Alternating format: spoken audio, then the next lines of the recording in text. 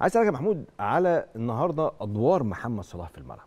وليس قيمة محمد صلاح. محمد أكيد. صلاح هو القيمة الأولى في. منتخبنا الوطني. كان بس النهارده أدوار كثيرة لمحمد صلاح في الملعب. محمد صلاح النهارده في أوقات كتيره جدا مباراة كان بيلعب رقم 8 يعني محمد ملعب. صلاح كان بيلعب في نص الملعب النهارده في, في, في, في شكل كان جديد جدا على آه، علينا إحنا. ولكن خليني أقول لك إن في أول ربع ساعة كان في مشكلة عند مصر في خروج بالكورة. ضغط المنتخب الجزائري كان جامد جدا. فالراجل قام عامل تغييرة كده بسيطة ونزل محمد. هنا بص يا كريم ده في أول ثلاث دقائق خالص منتخب مصر هيحاول يطلع بالكورة. بص ه- هيلعب الكورة على طول لزيزو. ضغط كبير. منتخب مصر كان بيحاول يطلع على الأطراف. ضغط كبير جدا منتخب الجزائر. أول 10 دقائق كان الجزائر بتاخد كل الكور بتاعه مصر اللي بتحاول تطلع بيها من تحت. دي كانت هجمة خطرة جدا في أول ثلاث دقائق عشان مصر مش قادرة تطلع بالكورة.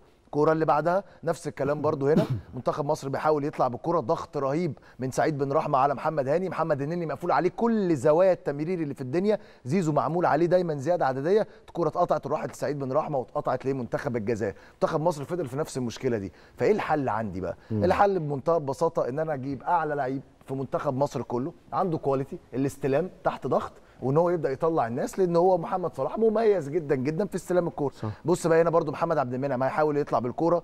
منتخب مصر نفس الكلام برضو في مشكلة في الخروج بالكورة ضغط رهيب على حمدي فتحي على محمد النني محمد عبد المنعم هيحاول الحل الفردي برضو ولكن منتخب مصر فيه مشكلة. تعالى بقى نشوف بعد اللقطة دي قام على طول آه، روي فيتوريا قام مدخل بص برضو كانت هجمة ممكن تكون خطر لمنتخب الجزائر. قام محمد صلاح بقى نزل نص الملعب حاول يطلعوا عليه بص هنا قوة محمد صلاح استخد الكورة. بص بقى كريم بص الاحتفاظ بالكورة واحد واثنين وثلاثه هاخد فاول وهقف. هي دي بقى قوة محمد صلاح وميزة محمد صلاح. نفس بص محمد صلاح فين يا كريم بيلعب رقم 8 وزيزو هو اللي ماسك الطرف. بص محمد صلاح بيلعب فين؟ هيتلعب له الكورة هيقدر برضو إن هو يحافظ على الكورة ويلعب الكورة. هو على طول هينزل هو الحل بالنسبة لك. تحول اللعيب رقم 8 محمد صلاح اللي كان بيدافع في نص الملعب على فكرة. بص أول ما اتقطع منه محمد بص بقى كريم الكورة دي. بص التحول وهنا ميزة محمد صلاح. قام جاي موه للراجل خد وقطع. وبص بقى الهجمة اتحولت بشكل تاني خالص لمنتخب مصر. فالراجل بقى على طول بيلعب في وسط الملعب. كنا بنشوف محمد صلاح بيلعب في النص أو في العمق في الكور المرتدة لمنتخب مصر. ولكن محمد بص يا كريم هنا الكورة دي كانت من أخطر الكور الثنائية اللي كانت ممتعة ما بين تريزيجيه ومحمد صلاح. نفس الكلام إحنا كنا بنشوف محمد صلاح على طول في الحالة الهجومية على طول في نص الملعب. بس اللي كان جديد علينا إن هو بينزل يستلم الكوره نكمل الكوره آه، وإحنا بنتكلم. بص يا كريم هنا هتلاقي بالظبط برضو محمد حمدي ياخد الكوره نكمل الكوره يا جماعة وإحنا آه، نكمل ال- ال- اللقطة. هنا محمد حمدي واللي عليهم الاثنين ال spot دول آه، تريزيجيه ومحمد صلاح. نكمل الكوره يا جماعة. نكمل الكورة.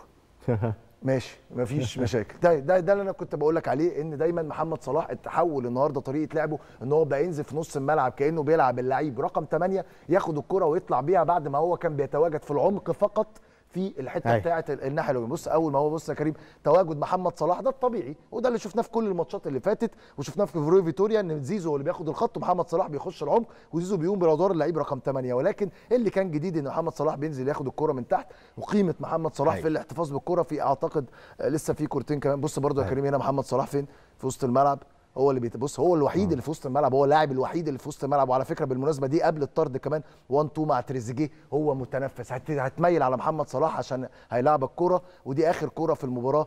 بص احتفاظ محمد صلاح ال sense بتاعه في في ال pass اللي عمله لعمر مرموش. بص يا كريم هنا بص ال vision بتاعه عالي جدا جدا. عمر مرموش قطع بشكل هايل وال وال والسنس بتاع محمد صلاح في طلوع بالكورة. فقيمة محمد صلاح كلاعب كورة. محدش يقدر يتكلم عليها أكيد كلاعب كورة. 100%